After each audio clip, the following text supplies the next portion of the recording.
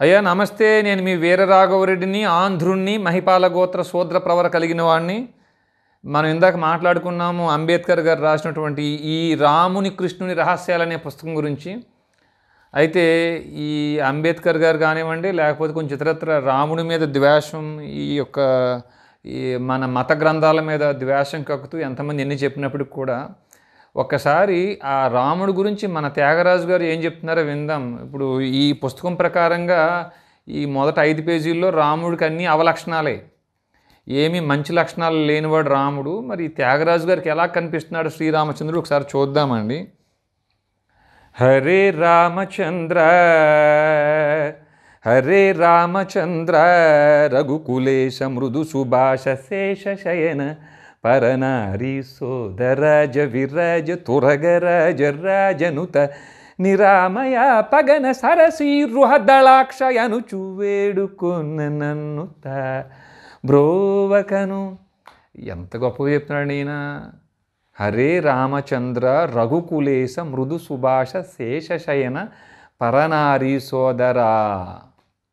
మృదు సుభాష శేషశయన మంచి మృదువుగా మాట్లాడేవాడటండి రాముడు. ఇంకా ఎన్నో లక్షణాలు చెప్తూ చెప్తూ శ్రీ వెంకటేశ సుప్రకాశ సర్వోన్నత సజ్జనమా నసనికేతన కనకాంబరధరల సన్మకుట కుండల విరాజిత హరే యనుచునే పొగడగ త్యాగరాజగేయుడు మానవేంద్రుడైన రామచంద్రుడు సమయానికి. వెంకటేశ్వర స్వామితో మొదలుపెట్టి ఆ వెంకటేశ్వర స్వామి ఈ రామచంద్రుడని చూడగలిగేటువంటి ఆ త్యాగరాజు గారి యొక్క మానసిక స్థితి ఎట్టిది? ఇది మనం ఇప్పుడు ఎవరినైనా ఈ మానసిక శాస్త్ర వైద్య నిపుణులను అడిగితే లేదండి ఆయన ఎప్పుడూ రామ రామ రామ అని చెప్పేసి ప్రార్థించిన ఆ- ఆ త్యాగరాజు ఆ త్యాగరాజుకి అందరిలోనూ రాముడే కనిపిస్తున్నాడు. అది ఒక రకమైన పిచ్చి అని చెప్పినా ఆశ్చర్యపోకర్లేదు. ఈ శరీరం శాశ్వతం కాదు ఆత్మే శాశ్వతమైందని భగవద్గీత ఏదైతే మనకు బోధించిందో ఆ బోధనల ఆధారంగా నేను ఎవరిని అని అంతరంగమున తిన్నగా వెతికి తెలుసుకుంటున్నయ్యా మరుగేలరా ఓ రాఘవా? అన్నీ నువ్వే అని అంతరంగం లోపల వెతికేటట్టండి ఆయన బయట కాదు. అంతరంగము లోపల తిన్నగా వెతికి తెలుసుకుంటున్నయ్యా మరుగేలరా ఓ రాఘవా? ఇప్పుడు మీరు వెతికిన ఆ యూట్యూబ్లో దొరుకుతుంది అనుకోండి. మరుగేలరా ఓ రాఘవని మనం సెర్చ్ చేస్తే దొరుకుతుంది వెతికితే దొరుకుతుంది మనకి. అలా అటువంటి ఆ త్యాగరాజు గారి మానసిక స్థితి ఎట్టిది? తొంభై ఆరు కోట్ల సార్లు రామనామ జపం చేసి నాకు డబ్బొద్దు పదవులొద్దు ఆస్తులొద్దు అంతస్తులొద్దు నాకు. ఎవ్వరూ నా వారు కాదు నేను ఎవరి వారినే కాదు నేను రాముడి వాడిని. శ్రీరాముడు మాయమ్మ సీతమ్మ మా తల్లి. సీతమ్మ మాయమ్మ శ్రీరాముడు మా తండ్రి అని పాడినటువంటి ఆ యొక్క మానసిక స్థితిని మనం ఎవరితో భూమి మీద కంపేర్ చేయగలుగుతామండి? ఎవరంటండి ఆ త్యాగరాజు? రజిత గిరీషుడు నగజకు దెల్పె స్వరార్ణవ మర్మము విజయము గల త్యాగరాజునికిరికే విశ్వసించి తెలుసుకో ఓ మనస అన్నాడండి స్వరరాగ సుధాని కీర్తనలోను. అయ్యా మరి రజత గిరీషుడు నగజకు దెల్పె స్వరార్ణవ మర్మము విజయము గల త్యాగరాజునికిరికే విశ్వసించి తెలుసుకో ఓ మనస.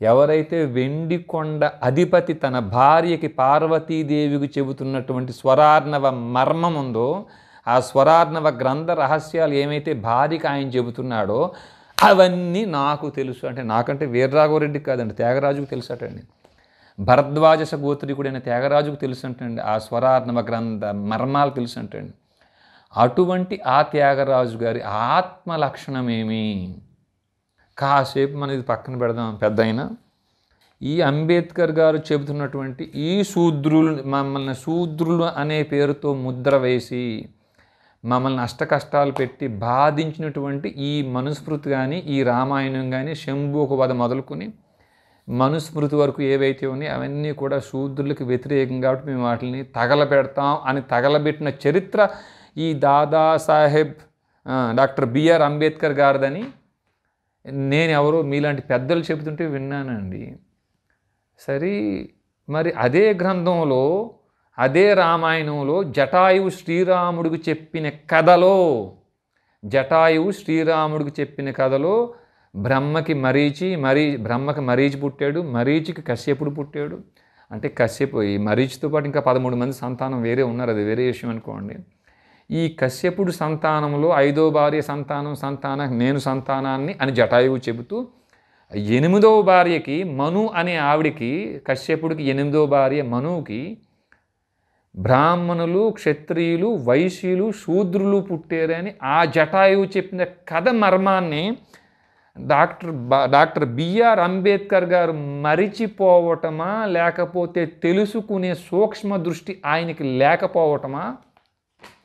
లేదా భగవద్గీతలో మనం చెబు మనం వింటున్నటువంటి పూర్వజన్మ అభ్యాసం చేత వాళ్ళు ఏ లక్షణాలని కలిగి ఉన్నారో ఈ జన్మలో అప్రయత్నంగా ఆ లక్షణాన్ని కలిగి ఉంటారంటే మరి రామచంద్రుడు నడయాడుతున్న సమయంలో బాబాసాహెబ్ అంబేద్కర్ గారు కూడా నడయాడుతున్నప్పుడు వాళ్ళిద్దరికీ ఉన్నటువంటి ఆ వ్యతిరేక భావాలు ఈయన పుట్టిన తర్వాత ఆ రాముడు మంచివాడు కాదు అని చెప్పేటువంటి ఆత్మ లక్షణమే ఈ పుస్తకం రాయటానికి దారి తీసిందా?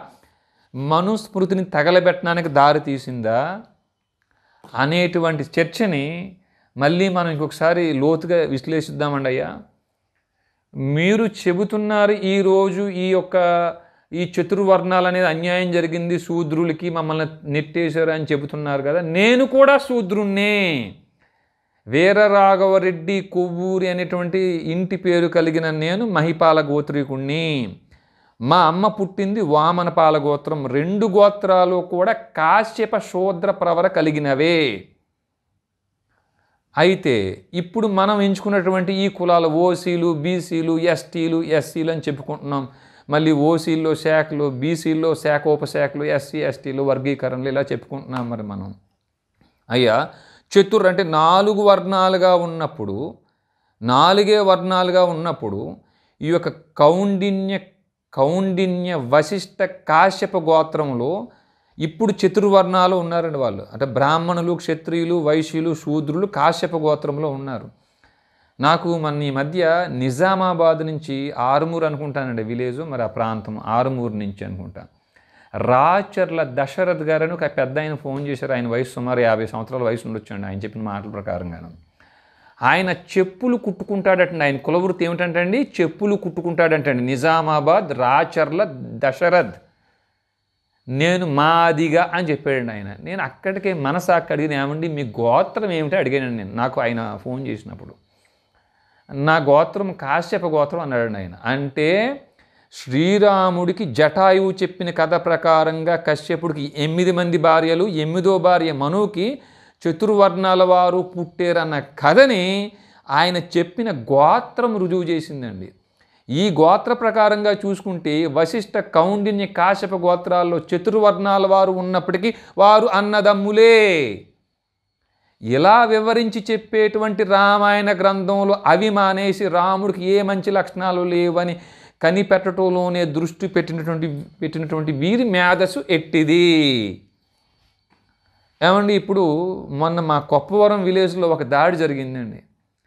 మేము టీడీపీ మీరు వైసీపీ అది కాక మళ్ళీ మీరు మంగళూరు ఇక్కడ ఉంటారా మీరు? ఊరు దూరంగా పోండి అని చెప్పేసి ఆయన బడ్డీని తోసి పడేశారు. ఆ కుర్రోడు మంగళ అబ్బాయి మెల్లగా ఊరు చివరి మీలాంటి వాళ్ళు మీలాంటి వాళ్ళని పట్టుకుని చిన్నగా ఒక మూల పెట్టుకున్నాడు. అక్కడ కూడా మళ్ళీ కరెంట్ కట్ చేసేసి అటు సైడ్ ఎవరు రాకుండా పట్టీలు తీసి మధ్యలో మట్టి పోసి వేరే ఇబ్బంది పెట్టారు అనుకోండి ఏమంటే మంగళోడు మంగలి చాకలి ఏ మనం అన్ని ముద్రలేసి పెట్టాం కదండి మనం అధికమైన కులం మంది అని ముద్రలేసి పెట్టుకున్నాం కదా. ఆ అబ్బాయి కూడా బాధితుడు అయిన తర్వాత నేను ఆ అబ్బాయితో ఫోన్లో మాట్లాడినప్పుడు మీ గోత్రం ఏంటని అడిగాను నేను. పైడిపాల గోత్రం అన్నాడండి ఆయన. ఆ మంగళ శ్రీను కొప్పవరం విలేజ్ అనపర్తి మండలం తూర్పుగోదావరి జిల్లా మంగళ శ్రీను పసుపులేటి శ్రీను నీ గోత్రం ఏమిటి నాయన? అని నేను అడగగానే మాది పైడిపాల గోత్రం అని చెప్పాడండి. అయ్యా మరి ఈ పైడిపాల గోత్రంలో కమ్మ కులస్తులు ఉన్నారండి. ఈ పైడిపాల గోత్రంలో పోతం శెట్టి ఇంటి పేరుతో రెడ్డి కులస్తులు ఉన్నారు. ఈ పైడిపాల గోత్రంలో పాటం శెట్టి ఇంటి పేరుతో కాపులు ఉన్నారు. మరి మీరు చెప్పండి ఈరోజు నాలుగు కులాలుగా ఉన్న ఈ నాలుగు కులాలు ఏవి? కమ్మ రెడ్డి కాపు మంగలి. నాలుగు కులాలుగా కనిపిస్తున్నాయి మనకి. గోత్రం ఒకటి చేస్తుందండి. గోత్రం ఒకటి చేస్తుందండి. ఈరోజు తెలంగాణలో ఉండే గౌడ్స్ ఎవరైతే ఉన్నారో కౌండిన్య గోత్రికులు శూద్ర ప్రవర కలిగి ఉన్నారండి. ఎవరైతే కౌండిన్య గోత్రంలో బ్రాహ్మణులు ఉన్నారో ఇప్పటికి వాళ్ళు బ్రాహ్మణ ప్రవర కలిగి కౌండిన్య గోత్రికులు ఉన్నారు. క్షత్రియ ప్రవర కలిగినటువంటి కౌండిన్య గోత్రికులు. అయ్యా ఈ గోత్రం ఈ యొక్క మూడు వర్ నాలుగు వర్ణాలని ఒకటి చేస్తుంది. కౌండిన్య గోత్రం వశిష్ఠ గోత్రం కాశ్యప గోత్రం. అందరూ అన్నదమ్ముల పిల్లలే అని చెప్పేటువంటి కథ రామచంద్ర ప్రభువుకి జటాయువు చెప్పిన వృత్తాంతంలో ఉందండి. ఈ కాసేపు మనం పక్కన పెడితే ఇదే శ్రీరామచంద్రుడికి విశ్వామిత్రుడు ఇంకో కథ చెప్పాడండి. మేము కౌశిక కులస్తులం అండి మేము. మా వంశ ప్రవరిది బ్రహ్మకి కుషుడు పుట్టాడు. కుషుడికి నలుగురు కుమారులు. ఆ నలుగురు కుమారులు నాలుగు రాజ్యాలు స్థాపించారు. దాంట్లో కుషినాభుడికి మేము గాదిరాజు గారు పుట్టారు. గాదిరాజు గారు నేను పుట్టామని. అయ్యా ఇప్పటికీ ఈ గాదిరాజు అనే ఇంటి పేరుతో వశిష్ఠ గోత్రికులు ఉన్నారండి ధనంజయ గోత్రికులు ఉన్నారండి. ఈ ధనంజయ గోత్రికుల క్షత్రియ ప్రవర ఋషి ప్రవరలో ఈ ఋషి ప్రవర మనం చూస్తే శ్రీమద్ వైశ్వామిత్ర మధుచందో ధనంజయ త్రయార్ష అంటే ఇక్కడ ఎవరైతే విశ్వామిత్రుడు మమ్మల్ని కౌశిక కులస్తులు అని పిలుస్తారో అని చెప్పారో ఆ కౌశిక ముని యొక్క గోత్రం కౌశిక గోత్రం ఈ రోజుకి సజీవంగా ఉంది. ఆ కౌశిక ముని యొక్క ప్రవర ఈ యొక్క ధనంజయ గోత్రంలో క్షత్రియ ప్రవరలో భరతుడి పేరుతో మొదలైతే ఋషి ప్రవర్లో శ్రీమద్ వైశ్వామిత్ర మధుచందు ధనంజయ త్రయార్షయ అని మొదలవుతుందండి. ఇంకా క్షత్రియ ప్రవర్ అంటారా? భరత్ పరీక్షిత్ విష్ణువర్ధన మహారాజ వంశాన్ని అని ఇక్కడ ఈ ఈ యొక్క కౌశిక గోత్రీకులు ఈ ధనంజయ గోత్రీకులు బంధువులే మళ్ళీని. ఇంకా ఇప్పుడు మనకి తెలంగాణలో కానీ ఆంధ్రాలో కానీ ముత్తరాసు ముదిరాజు అనేటువంటి ఏవైతే మనకి రెండు వర్ణాలుగా చెప్ చెబుతున్నారో రెండు కులాలుగా చెప్తున్నారో ముత్తరాసు ముదిరాజు చెప్తున్నారో వాళ్ళ గోత్రం ఎక్కువగా తెలిసిన వాళ్ళు చెప్పేటువంటి గోత్రం పాండవ గోత్రం. మా కులదయం అర్జునుడు అని. ఏమండి? ఈ పాండవ గోత్రం వీళ్ళ ముదురాజులదైతే వీళ్ళ కులదయం అర్జునుడైతే ఈ పాండవ గోత్రం వెళ్ళి ధనంజయ గోత్రంలో ధనంజయ గోత్రం వెళ్ళి కౌశిక గోత్రంలో కౌశిక గోత్రం వెళ్ళి నాగలాపురం స్థల పురాణంలో విశ్వామిత్రుడు శ్రీరామచంద్రుడికి చెప్పినటువంటి కథ రుజువు చేయటం లేదా దాన్ని కదా మన పూర్వీకులు వసుదైక కుటుంబం అని చెప్పారు. ఇంకా మిగిలిన బ్రహ్మకి పద్నాలుగు మంది కుమారులుగా చెప్పబడినటువంటి ఆ పులస్తే గోత్రీకులు ఇంకా భూమి మీద బతికే ఉన్నారండి. ఇంకొక మునిగా చెప్పబడిన అత్రి మహాముని వంశంలో ఆత్రేయస గోత్రీకులు ఇంకా బతికున్నారండి. అయ్యా మీరు చెబుతున్నటువంటి ఈ రాజ్యాంగంలో మీరు పేర్కొన్నటువంటి ఈ కులాలు ఉపకులాలు ఏవైతే మీరు చెప్తున్నారో జనాన్ని విడదీస్తే ఆ వాల్మీకి రామాయణంలో చెబుతున్నటువంటి ఆ కౌశిక ముని చెప్పిన కథ జటాయువు చెప్పిన కథ కులాలని కలుపుతున్నాయండి అయ్యా.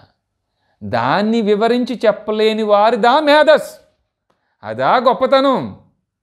అయ్యా సాక్షాత్తు త్యాగరాజు గారు చెప్పారండి అయ్యా. సాక్షాత్ ఎవరు చెప్పారండి అయ్యా?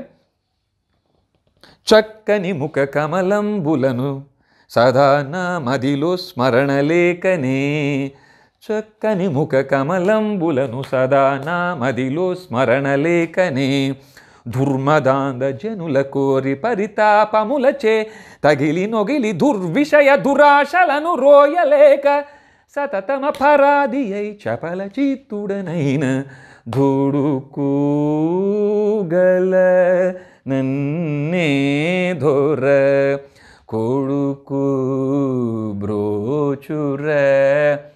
అయ్యా పెద్ద అయినలారా తెలుసుకోండి అయ్యా మర్మం తెలుసుకోండి అయ్యా మన అందరం బంధువులమేనండి అయ్యా.